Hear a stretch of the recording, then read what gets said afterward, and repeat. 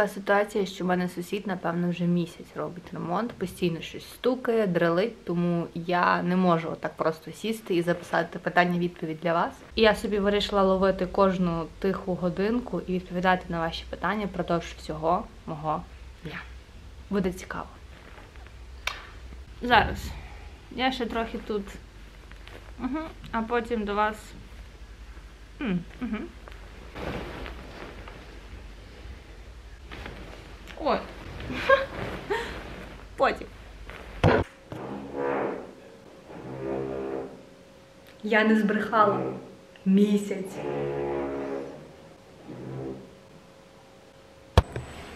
Я йду по сир, тому що для мого сніданку мені треба сир. І зараз я відповім на перше питання. Чи буде Альонка дружкою на весіллі? Питає моя сестра Олена. І я знову її засмучу, тому що весілля не буде. Просто тому, що ми маємо більш важливі фінансові плани, скажу так. Але Олена, ти назавжди в моєму серці, моя дружка. І раптом що? На зв'язку. Ой, як холодно. Ой, і світло. Холодно. Я хочу зиму. Зима. Коли? Коли ялинки? Коли новий рік? Це, до речі, один з моїх улюблених намазок сирних, дуже смачний. Спробуйте. І дешевший, ніж Філадельфія. Ідеальне.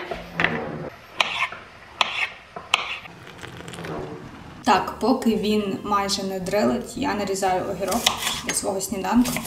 І хочу відповісти на питання про улюблену страву. Дана, тобі привіт. Їм за тебе цей чудовий огірок. Дай мій телефон.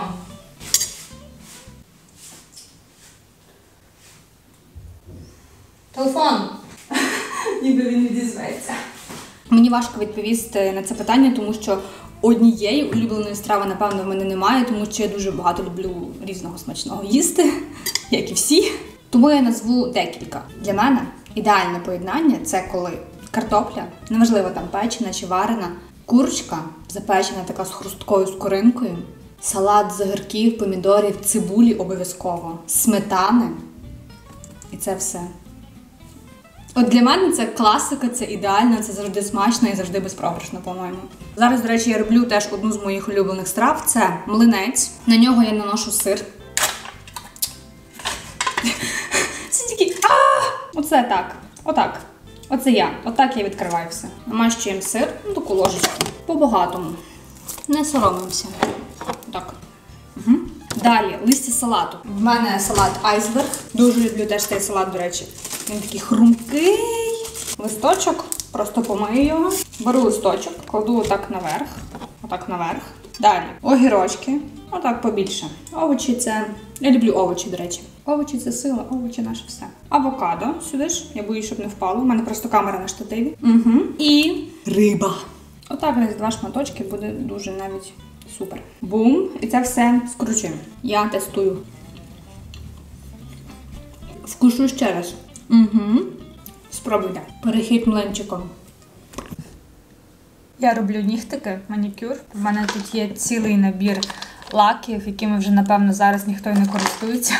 Різні масла для кутикул, скраби, що в мене тільки нема. І поки я цим всім займаюся, відповім на питання. Розкажи про улюблені місця в Україні, куди точно варто поїхати і що б ти хотіла відвідати.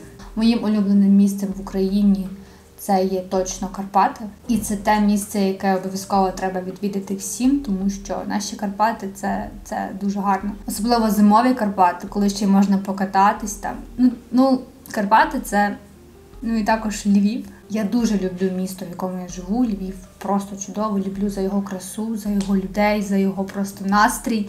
Бо Львів це дуже атмосферне місто і теж раджу кожному тут побувати. Тут реально є де походити, є що подивитись, тут дуже смачно, і Львів це сердечко.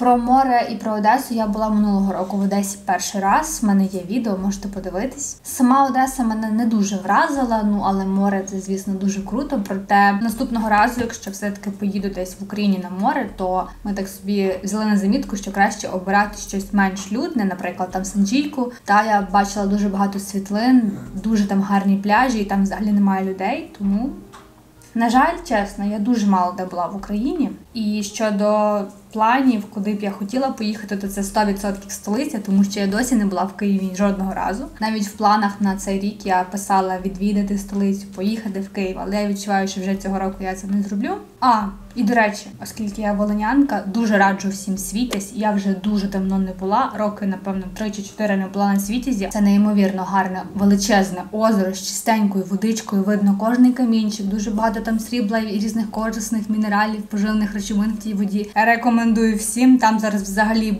Купа готелів різних, купа магазинів, там дуже все розбудувалось. Він настільки став курортним. Світязь і взагалі всі шацькі озера варті вашої уваги 100%. Тобто, якщо не море, та ми з мамою, до речі, на світязі були напевно з всіх боків. Лише я не була там на острові, бо на світязі є такий острівок, його так називають острів. І також там ще є озеро Пісочне, теж дуже чистеньке, прекрасне. Там є курорт, е, не курорт, як це називається? Ну, лісова пісня, типу пансіонат чи як. Теж дуже часто ми там були. Ліс. Посеред нього озеро, чистеньке. Коротше, Шацькі озера, світязь це любов. Рекомендую всім. Сусід пиляє, і я піду пиляти свої нігті. Я на балконі і мені треба розвісити попрані речі. Було питання про те, що б я сказала собі 1 вересня в 11 класі. 11 клас, взагалі, я вам скажу, це, це суцільний стрес. Ну, для мене був. Але я б собі напевно сказала Іра вчи історію. Просто тому, що я не дуже добре склала історію. Мені здається, я могла б набагато краще написати іспит з неї. Але я якось підзабила, і мені здається, через це я не вступила на державне. Тому я б собі сказала, Іра, вчи краще історію. Але слова, типу, не переживай, вони не працюють, я знаю. Тому що після слів там не переживай, ніхто не, не перестає переживати. Тому мені дуже допомагала думка про те, що переді мною купа людей були в точно такій самій ситуації. Всі писали ЗНО, всі його склали, всі вступили і все окей. Тому все точно буде добре. Головне це максимально вчити предмети, які ти будеш писати, і все. І ще напевно слухати себе в першу чергу. В мене просто так було, що мама ніколи якби не перечила, от як я їй сказала, куди я хочу вступати, так і в мене було. Тому що я зараз не можу сказати, що мама мені сказала, і тому так. Я це був мій вибір. Все робила я. Мама взагалі нічого не казала, не вмішувалась, навіть варіантів не пропонувала. Куди хочеш, туди поступай. Бо раптом що? Це потім буде тільки твій вибір, це буде твоє рішення. Тому себе слухаємо себе, все буде класно. У мене тільки що була зарядка, і я хочу відповісти на ще одне питання. Якщо б ти могла змінити в собі щось одне в зовнішності і одне в характері, особистості, темпераменті, звичках, що б це було? Відповідь нічого, я подобаюсь собі така, яка є, не приймається. По-перше, я дякую за цікаве питання. Щось одне, що б я змінила в зовнішності. Ну, в мене щойно була зарядка, і я читала і одразу подумала про те, що мені завжди хочеться бути більш худою. Тут справа навіть не в вазі, а просто в кількості жирового шару, так на мені. Завжди хочеться бути більш підтягнутою, підсушеною, тому напевно так, вага. Ну, щодо рис характеру і темпераменту, то це 100% бути більш спокійною, легше все сприймати і просто менше переживати по житті. Хочеться, щоб мені частіше було все одно. От реально. Ну і ще, напевно, не здаватись, коли в мене щось не виходить. У мене дуже часто таке є, що я не маю терпіння. Якщо в мене щось не виходить, я дуже злюсь, дуже нервуюсь, дуже мені це не подобається. От мені хочеться бути якоюсь більш наполегливою. Я потренувалась просто прекрасно, йду в душ і скоро повернусь. Отож, я сіла робити домашній, і в мене було питання про магістратуру. Навіщо тобі магістратура?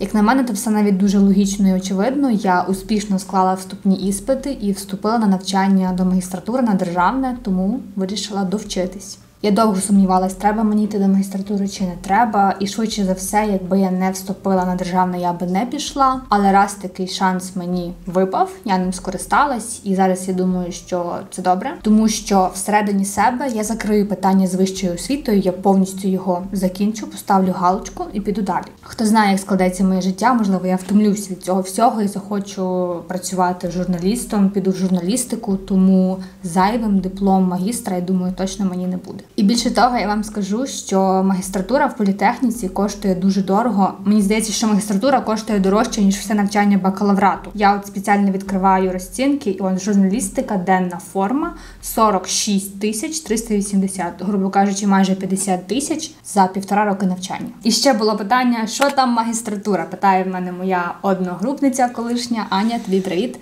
Загалом, чесно, все класно. Класно, по-перше, тому що нас набагато менше. Викладачі всі знайомі, всі знають один одного. Немає вже такого напрягу, як раніше на парах. Там хто перший буде відповідати, хто другий. Нас всього там сім людей здається в групі, всі на державному. Тому навчання на магістратурі набагато спокійніше. Всі вже дорослі, всі тебе розуміють, немає проблем.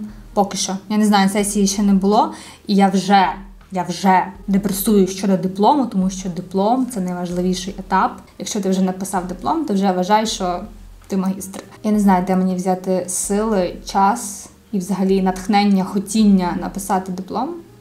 Але я вірю в себе і я сподіваюся, що все буде добре. Та все буде добре, де дінеться, все буде класно. Головне все робити вчасно, все здавати. Ну, всі поради, які я говорила вам відео, поради першокурсникам. Подивіться. Йду дороблювати свої домашні і вімкнусь потім. Я малюю. Я взагалі не вмію малювати, але дуже люблю змальовувати. І от я хочу вам показати свої шедеври. Угу. У мене є фарби, це гуаш, такий стандартний набір з шести кольорів. Я не вмію малювати, абсолютно. Але, як на мене, для того, щоб малювати, не обов'язково вміти малювати. Мені подобається малювати саме фарбами, тому що олівцями я так не відчуваю, якщо так можна сказати. Зараз я намагаюся намалювати осіннє небо. У мене не дуже виходить, але я намагаюся. Сьогодні в мене сюжет з голови, хочу намалювати якийсь маленький пейзажик.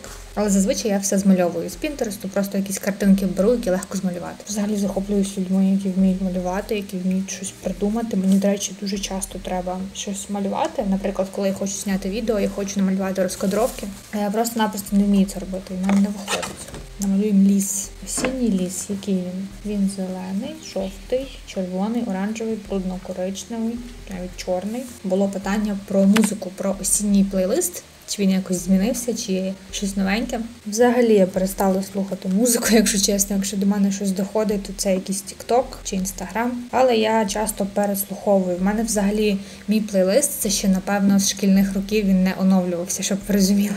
Тому осінь це стабільно океан Ельзи, старий океан Ельзи. Прямо зараз відкрию плейлист свій, подивлюсь. Що може цікавого вам порадити? Я, до речі, нещодавно була на концерті Вів'єн Морт. Дуже мені подобається цей український гурт. Я плакала, ви уявіть, я стояла під сценою і плакала, тому що це був прощальний тур. Вони більше не будуть співати, давати концерти і взагалі існувати. Дуже крута музика, не схожа ні на яку іншу.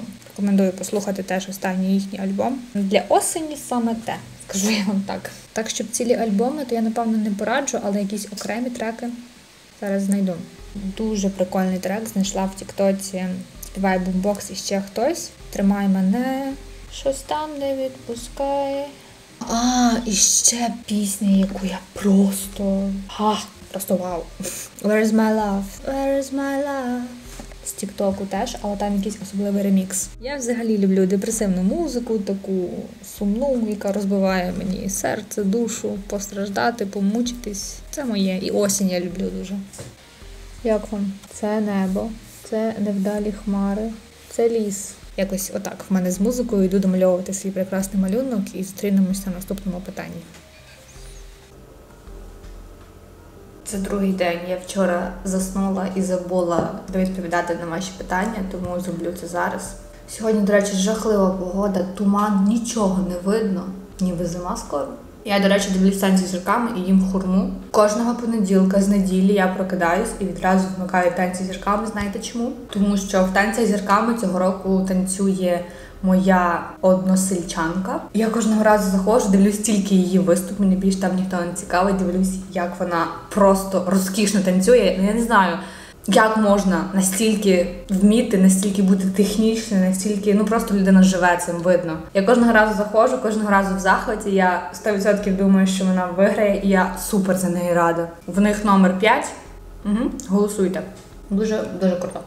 Питання: Розкажи про найяскравіші спогади з дитинства, шкільного та студентського життя. Ой-ой-ой, мені треба напевно вдягнути патчі, бо я якась така запухша, що я вже аж не можу очі відкрити. Я прокинулась, я відчуваю, що я не можу нормально кліпати, в мене якесь підпухше обличчя. Наліплю свої патчі, які мені, напевно, не допоможуть, але. Але підсвідомо мені буде легше. Ой, вони такі холодні. Я, До речі, завжди тримаю патчі, креми, деякі в холодильнику. Досі не знаю, яким боком їх ліпити. Я один раз так наліплю, інший раз так. Нормально. Патчі, якщо раптом хтось буде питати, якщо раптом комусь буде цікаво, отакі, без поняття, які, якісь корейські. Це якісь перші чи другі на мейкапі, біля яких були гарні відгуки. Я людина проста, читаю відгуки і купую. Так, питання. Найяскравіший спогад з дитинства. Це, напевно, будь-яке літо, яке я провела в селі у своєї бабусі, своєю сестрою, з якою ми що ми просто тільки не витворяли. Мені навіть страшно вам розповісти, але це супер щасливі спогади. Ми були малі, бігали в колготах, пасли коров, грали в футбол. Потім я пила оце молоко. От, до речі, гарний спогад. Я дуже любила коров'яче молоко. Ну і люблю, але саме домашнє, коли я була маленька, бабуся ввечері видоїла корову, поставила відро з цим молоком, тільки видоїним. Воно таке ще з пінкою. Там ще навіть якесь сміття бувало траплялося, і я просто обожнювала підходити і ту пінку пити. Мені було все одно.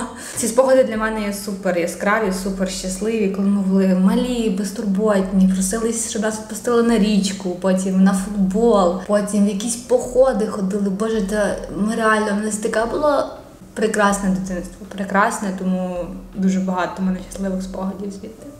Найяскравіший спогад шкільного життя, от чесно, я навіть не знаю, що відповісти. Ну, я супер любила всі ці творчі дні, коли ми виступали, коли ми співали, коли була сцена. Це я любила. Любила ще день ярмарки. Не знаю, чи у вас таке було, але в нас завжди осінню ще здається. Не знаю коли. Кожен готував якусь страву, приносив. Нас так ставили столи і всі продавали. Один в одного купували. Всі дуже любили оці льодяники, коли робили з цукру вдома. О Боже, як ми їх любили. Оце прикольні такі спогади з школи. А вже в старших класах там був один стрес. Я думала тільки про ЗНО, про те, як добре поскладати всі іспити і вступити кудись. Тому чесно, немає навіть старших класів щось такого яскравого. До речі, я нещодавно згадувала школу, і мені так подумалось, що школа це якесь.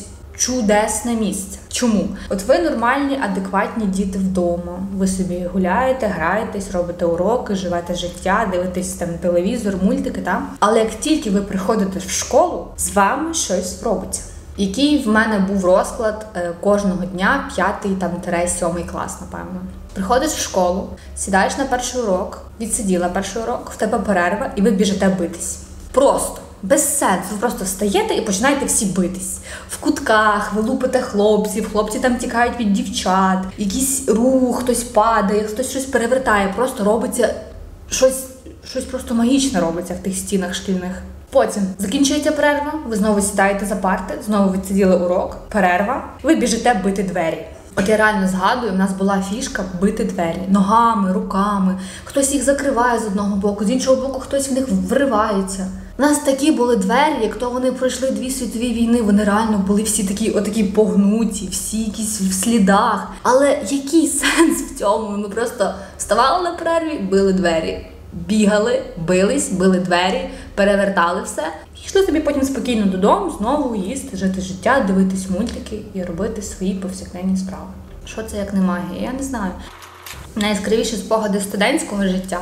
Чесно, я дуже люблю свій перший третій курс, коли ми ще всі фізично ходили на навчання, коли ми всі бачились, коли ми всі там ті іспити писали, всі переживали, збирались кубками в кав'ярнях, дроблювали якісь завдання. Для мене ці спогади супер теплі. Дуже, до речі, теплий спогад, коли ми всією групою робили таємного Миколая, коли ти просто вибираєш там листочок з ім'ям і даруєш там на певну суму комусь якийсь подаруночок. Взагалі, всі спогади, які оці передноворічні, коли передноворічна сесія, коли ви бистренько складаєте всі іспити, і ви потім вільні, попереду ще там тиждень канікул, новий рік. Ми завжди складали сесію до нового року зазвичай. Оце дуже класні спогади, коли холодно, сніг, ти йдеш з тих пар, лів такий прекрасний прикрашений, ліфт такий весь світиться, ялинки. О, може, я просто дуже люблю Новий рік, я не знаю, але от саме новорічні ці спогади, новорічна сесія, навчання це.